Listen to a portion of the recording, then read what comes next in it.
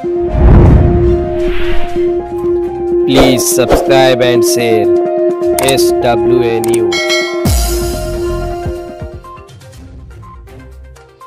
लोकशाही अघाड़ी दिनांक 8 जून 2022 के नाम से राज्य में राजनीतिक विकल्प बनाने का प्रयास प्रचार के लिए।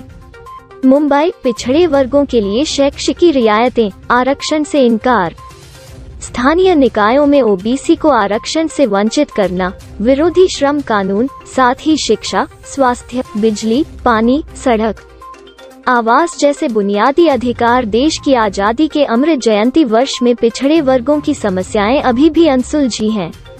पूर्व सांसद हरिभाव राठौर ने कहा कि विपक्षी दलों को वोट नहीं देने का फैसला किया गया है, क्योंकि उन्होंने लगातार पार्टी के साथ अन्याय किया है मुलुंड, मुंबई में 7 जून को हुई बैठक में राजनीतिक विकल्प बनाने का निर्णय लिया गया।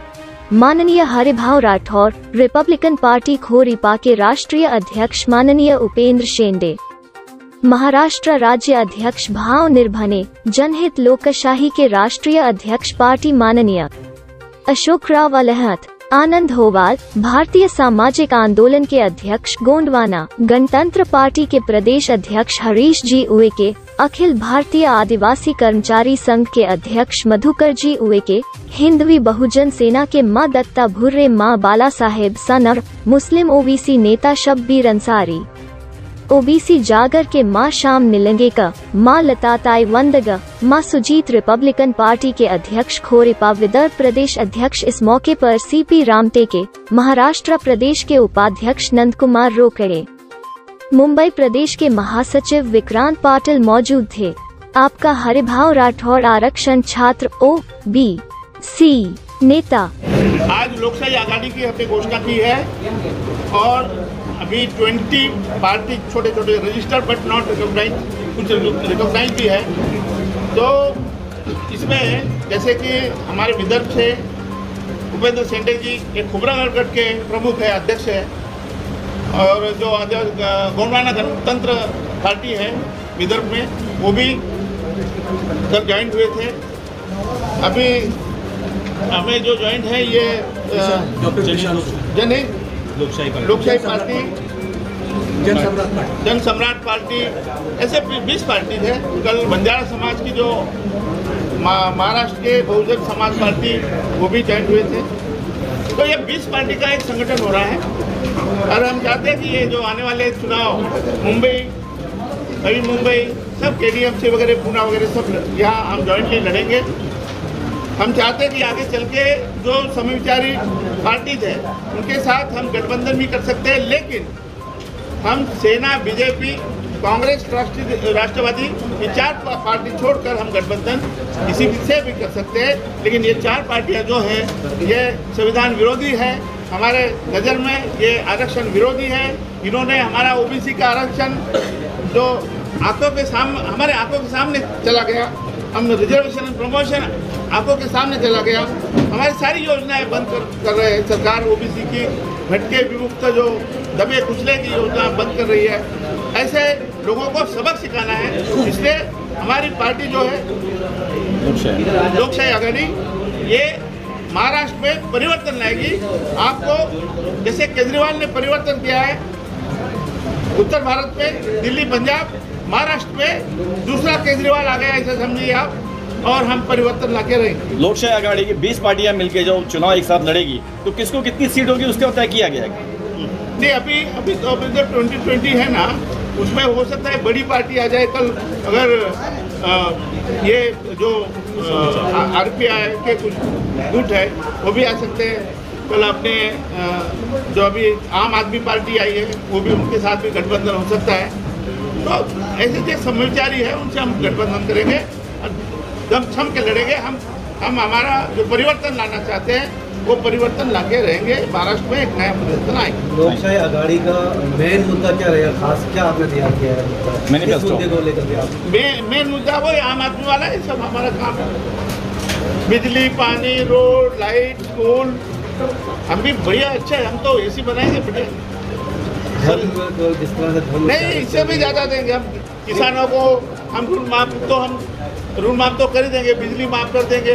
उनको दो हज़ार रुपया पर मंथ, हमारे नज़र में आम आदमी, ये जो आम आदमी, रियल में आम आदमी, उसके लिए हम जो भी करना चाहें, वो भी करेंगे। ऐसी कोई योजना हम लाएँगे कि हर गरीब हर गरीब, जिसको दो टाइम का खाना मिलेगा लत्ता कपड़ा मिलेगा, और पूरी जो स्वास्थ्य योजना है हम फ्री कर देंगे। तो ये जो योजना आप बता रहे हैं कि लेके आएँगे क्या मौजूदा सरकार क्यों नहीं ये योजना दे पा रही है?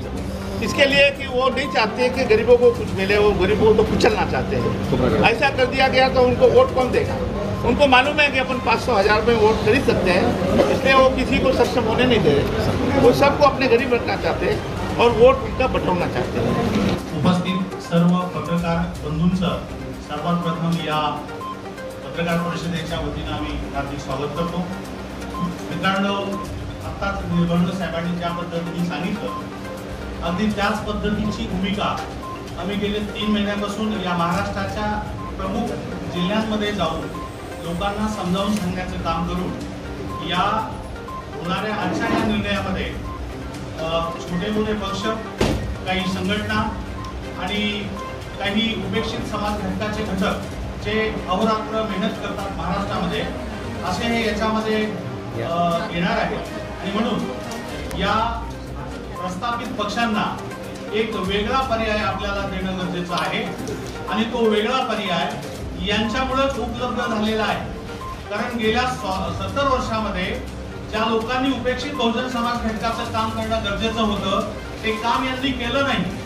नवे यांना करायचंच नाही अशी भूमिका यांची दिसते आहे.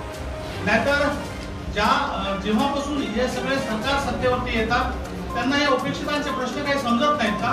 बिलकुल समजतात. पण आमच्या काही लोकांना थोडासा कोपराला गुळ लावून त्याला ते अं, बुलवणी देतात. आणि म्हणून या सगळ्या लोकांना आपल्याला अशा पर्याय आम्ही सगळ्यांनी मिळून देण्याचं ठरवलेलं आहे. आणि म्हणून या पत्रकार परिषदेमध्ये आलेल्या सर्व पत्रकारांना आमची विनंती राहील की आपण या सगळ्या भूमिका व्यवस्थितपणाने त्यांच्यापर्यंत पोहोचवाव्यात अशी मी आपला नम्र विनंती करतो. धन्यवाद. आज की गई है? बीस पार्टियों में तो आप उसके बारे में क्या कहना चाहते हैं? जो सेपरेट कल था वही एजेंडा लेके हम चलने वाले हैं।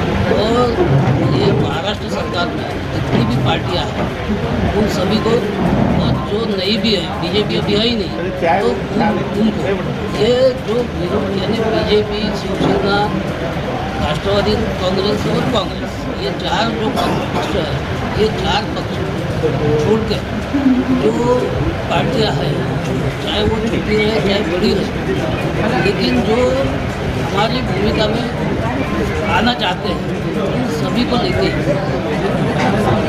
आने वाले इलेक्शन में हम पर्याय देना चाहते हैं और लोगों को पर्याय की आवश्यकता। है आज सारे लोग ग्रस्त तो सारे लोग ग्रस्त होने के नाते से हम अपना भी कुछ कर्तव्य है। जैसे कि अभी हरिभाऊ राठौर साहब ने जो आपसे बात किया है तो वो बात को पकड़ के हम कल की मीटिंग जो हुई सारे लोगों की।